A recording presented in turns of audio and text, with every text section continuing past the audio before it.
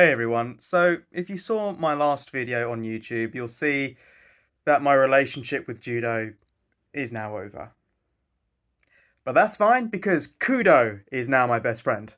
Today I am happy to announce that I have successfully passed my 10th kyu for Kudo and now I've got my 10th kyu purple belt. Uh, I was graded uh, by Sensei Mal Sanchez Jones. I've been training with Sensei Gary Hobbs at Hertfordshire Kudo Club, and I can honestly say it's one of the best arts I've ever gotten into.